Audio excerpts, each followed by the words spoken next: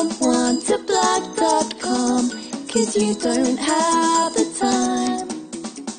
You can focus on your job while we blog, blog, blog for you. Check out the website and you'll see. Hello, it's Jen Miller, and you are listening to Be Seen Blogging, the podcast where you learn tips and tricks for improving your website content all in under 10 minutes. Today, we are going to be discussing gratitude posts and why they work. As the year closes in, each of us experiences moments of reflection on the highs and lows of the year. We think about the surprises, the people, the milestones, and the experiences for which we are most grateful. For this reason, and many others, gratitude posts resonate with readers. Based on expressing personal feelings, gratitude posts are a key way to connect and mirror life experiences because even though details may be widely different, we can all relate to stories of triumph, challenge, and vulnerability.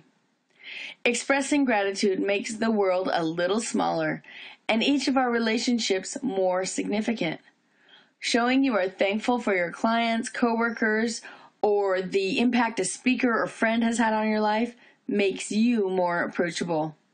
Maybe there are 101 little things you'd list that make you grateful. If so, write them up in a blog post. You'll find that the more of those you share, the more others will want to bring you into their lives. You may be thinking that gratitude has nothing to do with your business, that it won't help you in search results, and that it has no place on your blog. And if you do, I'd say you are out of touch. Everyone likes to be thanked. Every reader likes to know that you know that they follow you. When you reach out through a blog post and acknowledge others, it shows you care. If you take it a step further and email the post with a special note to your key contributors, whether they're friends, clients, or collaborators, you become more memorable. Be authentic and show some heart. These people will champion you.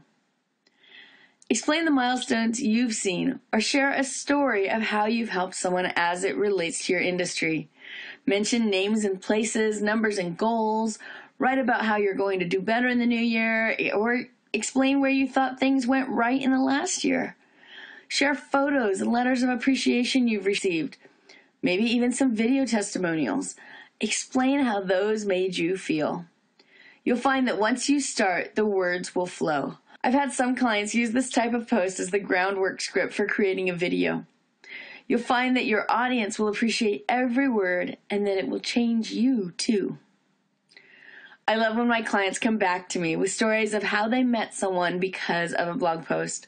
I especially love when clients share a gratitude post and call me explaining that it helped them connect with someone who they hadn't spoken with in years. I've had this experience myself, so I know it works. Last year, a friend of mine suggested I write up a post on gratitude, and it prompted my post finding gratitude in simplicity. I found myself flooded with phone calls and emails from new, current, and past clients and friends. I'm telling you, these posts really work. An added bonus is that they will make you reflect on the goodness you do have in your life. Gratitude plays a big role in my life. As a business owner, I am responsible for the livelihood of our staff. Need Someone to Blog has grown at an incredible rate in the last three years, and as we've grown, our staff has increased and flourished in more than business. Lives have been changed. Some team members have gotten married. Others have announced babies and advanced degrees on the way. Still, more have found that writing is a great tool for focusing as they've gone through some hard personal times. One of our writers took a leave of absence to serve in the Peace Corps in Africa and has experienced life in a way that few can understand. Reading Chris's post has given me an appreciation for sacrifice and for my own freedom that I hadn't felt before. Life isn't easy, but as, as a team, we've been blessed. It has been an amazing year for all of us, and I am grateful to have witnessed it. I started this podcast not knowing what it would bring and have been shocked by the opportunities it has given me. I'm grateful to my business coach, Darren, who encouraged and pushed me to launch Be Seen Blogging even when I didn't feel ready. I'm grateful to you, my listeners, for downloading episodes and sharing them with your friends. Because of you, my podcast has reached far beyond what I could have imagined.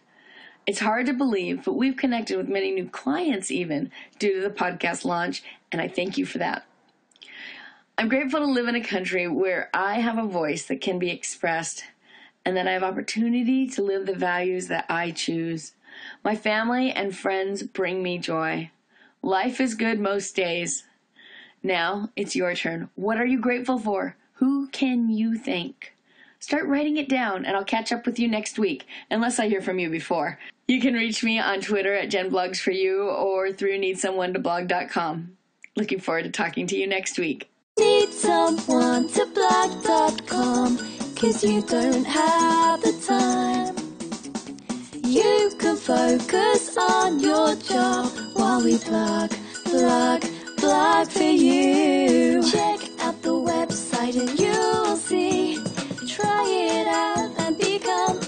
Icon of your industry. We will develop a voice for your blog to connect with your